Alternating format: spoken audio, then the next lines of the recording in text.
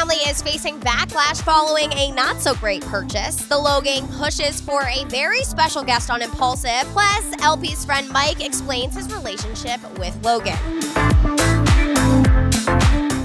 Hey guys, it's Allie for Hollywood Life, starting with Logan's friend Mike. Logan Paul's right hand man uploaded a video for the first time in nearly a year to explain to the Logang just exactly who he is.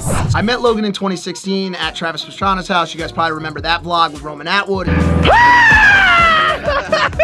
And then after that, we kind of remained friends. We hung out at Sundance, we hung out at Coachella. And then after Tokyo happened, I kind of started to be even more of a friend to him, more of an advisor, a big brother, a day to day, his right hand man, whatever you want to call it. Mike goes on to assure the fans that he is in no way just hanging out with Logan for the clout and further confirms that he is not the reason for LP's split from Chloe Bennet. Now that's a relief. Mike's influence can definitely be felt in Logan's growth the last year. Maybe I should get a mic.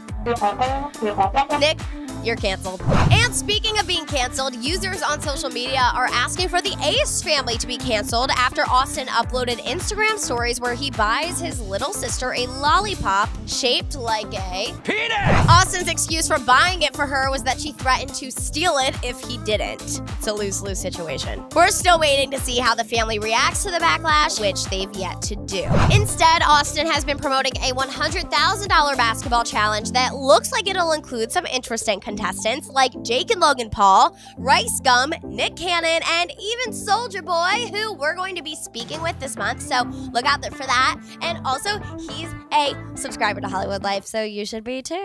But okay, from Ace to Impaulsive, Logan Paul asked his fans who they want on a future episode, and of course, they said Chloe Bennet. Recall, we told you that Chloe recently refollowed Logan on Instagram, and this could mean good things for their friendship. Logan, however, still hasn't followed her back, so I wouldn't get my hopes too high about seeing her on the podcast. Chloe, do you want to come on our podcast? But all right, guys, hit the sub like and bell button and comment what you would do if you won $100,000.